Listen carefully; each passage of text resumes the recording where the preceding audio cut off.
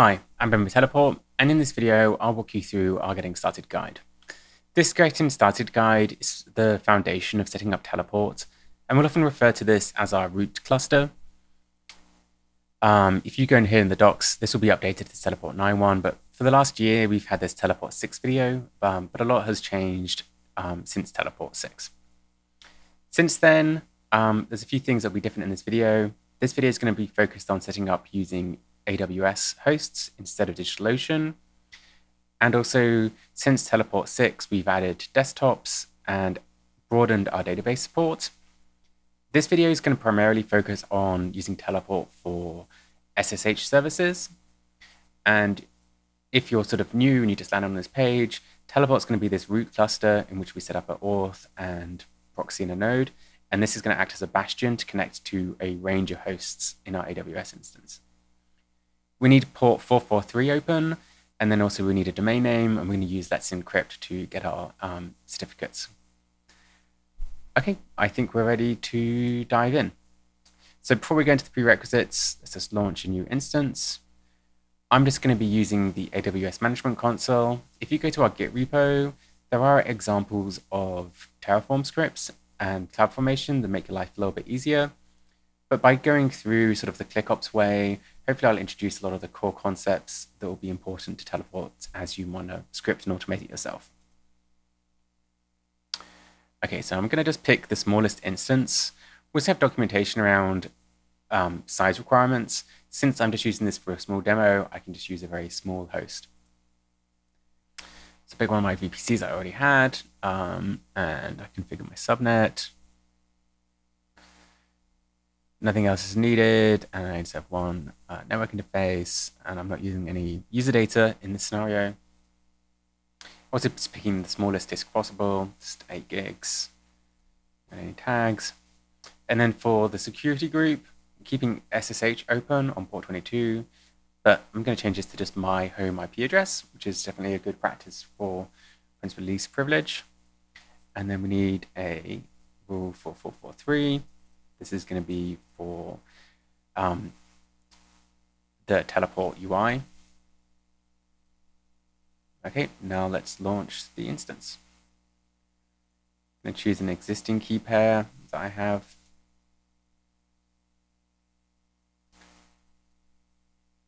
Okay, so now we'll wait for this to be pending.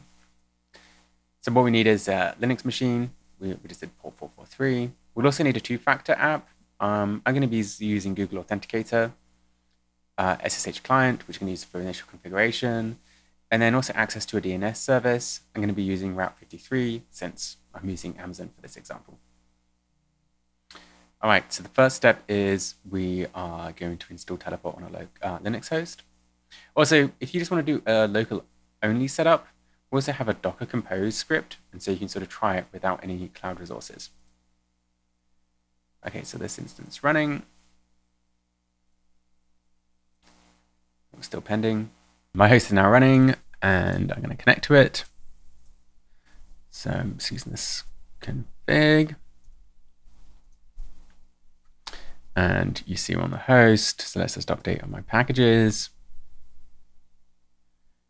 Um, if you see here, I'm just going to say yes. Okay, so now we're ready to dive in.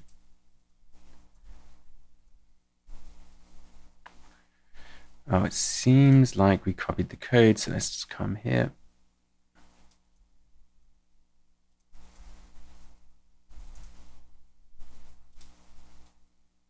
So I'm using yum to add the teleport repo. Install teleport 9, say yes accept the GPG key.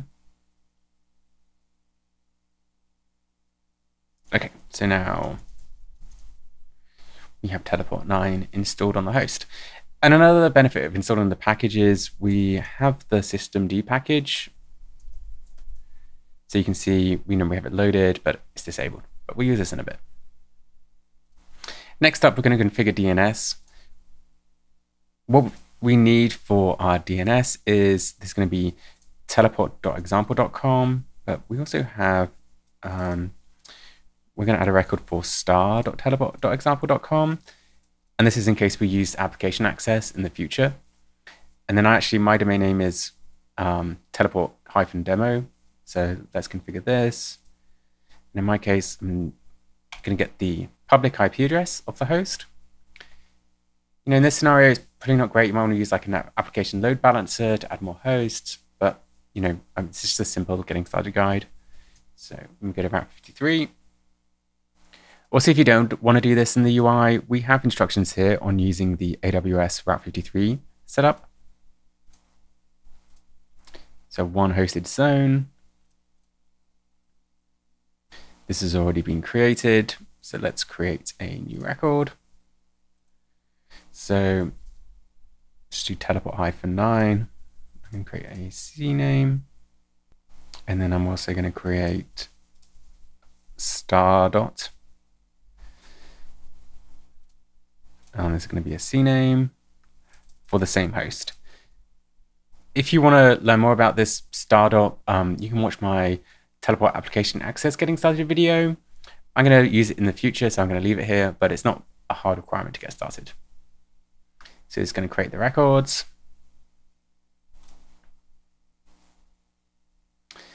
And okay, so we've done this. We're going to um, wait for it to get configured, but let's um, skip to configuring teleport. So we're going to do a public internet deployment with Let's Encrypt. So what we need to do is we're going to use our teleport configure command line to output the configuration options. So let's copy this command and we're going to make a few changes. And then we're on the EC2 host itself. Permission denied. Um, so actually, we need to change this anyway. We don't want it to automatically run. So let's just put it into a notepad. What we want to do here is change the email address to my email. And then this cluster name, this is important. It has to exactly match where you're going to put your main cluster. And as you remember here, we're going to put it on teleport hyphen 9 hyphen demo. Okay, so let's go back to our host.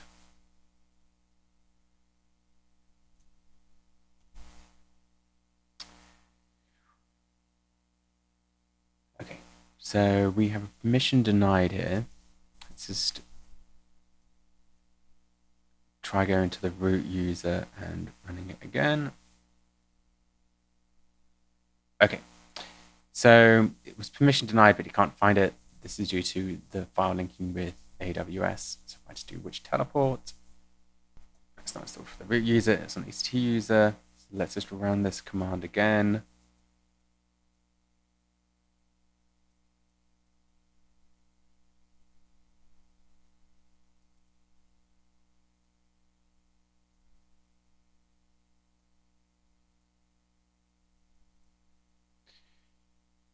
Okay, still not liking teleport writing out, so let's write it just to here.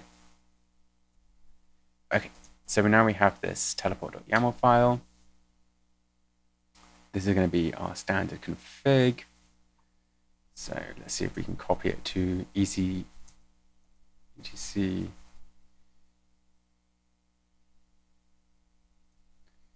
going to copy this file over.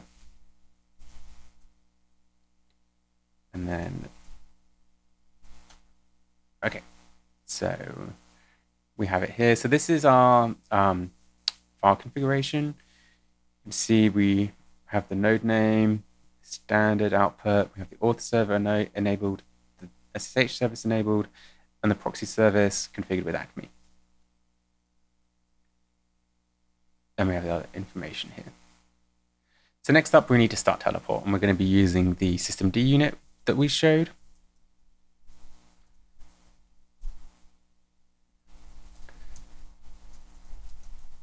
Okay, so you see it started. Looks like it's running. Now,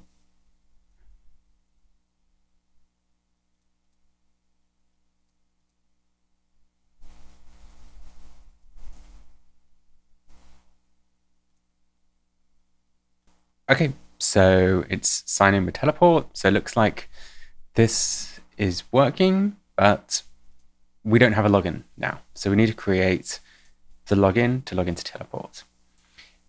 And so this is step two of four. We're going to use tctl, which we're going to run on the host itself.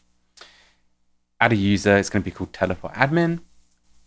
Roles, these are inbuilt in teleport, editor and access.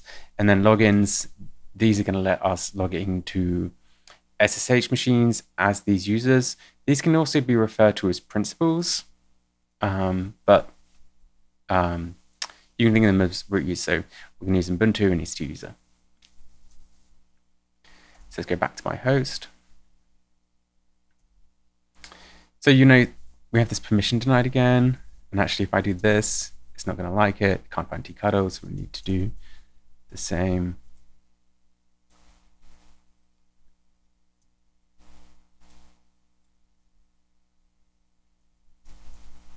The same sudo and then use a local bin, teleport. This has been successful, and then we can click this link.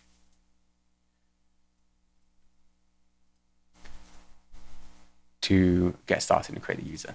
So let's create the user.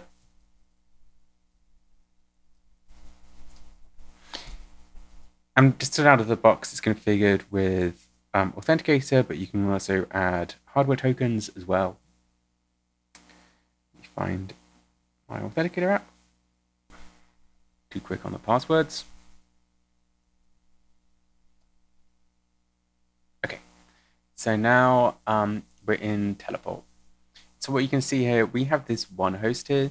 This host is actually the host of Teleport itself. So it's the proxy, the auth server, and the node itself. And actually, if we log in as EC2 user,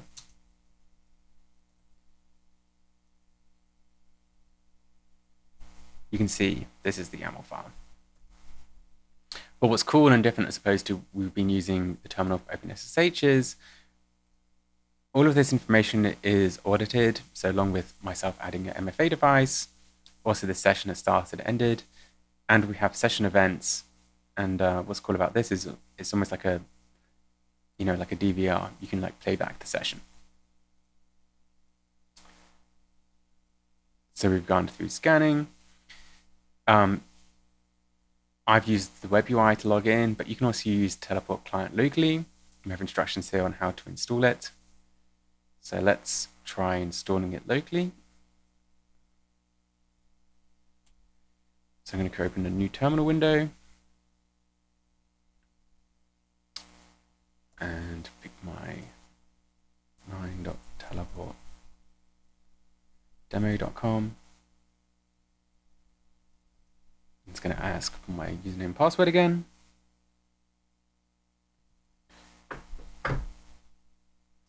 And here we have, um, you see I actually have a few clusters here, but this is the one I've logged into, and you can see that I have a certificate that's valid for 12 hours. And what I can do is the same thing.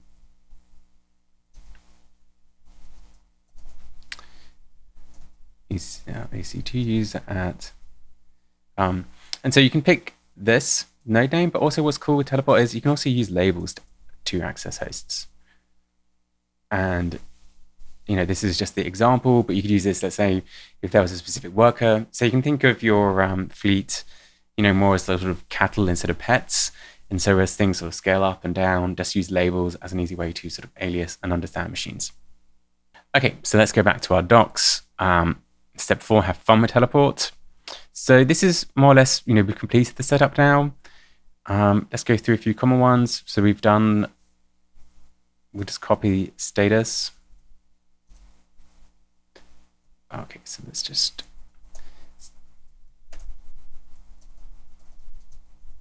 status, you can see which principles I have, um, whether it has like Kubernetes enabled or disabled. Um, we can add a node to a cluster. So let's do this next. Um, let's come back to our instance.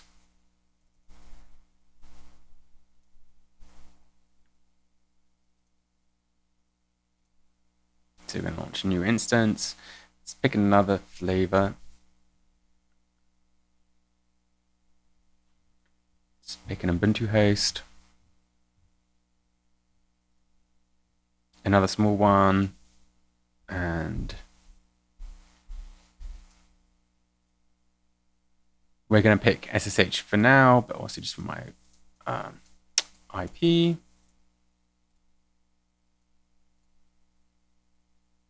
Okay, wait for this to boot. Let's give it a name.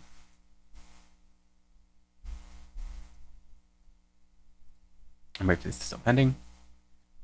Okay, looks like it's running. Let's try and connect. Okay, let me just check that. Okay, it's connections. So, just run an update. And so the first thing we need to do is also install Teleport on this host. Um, we can actually add a server here. And we actually have this pretty handy um, script. And this script should install, connect, and set up teleport for us.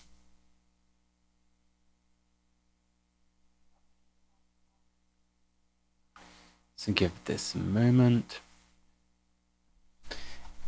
What it does is it downloads teleport, unpacks it, set up systemd. Um, you know, we also have information about how you obtain and deal with these tokens here. But let's close this.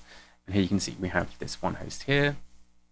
Um, it's a tunnel. This means it's connecting over the proxy instead of directly dialing to the auth server. And if I use Ubuntu, you can see we're in this host and it's been connected.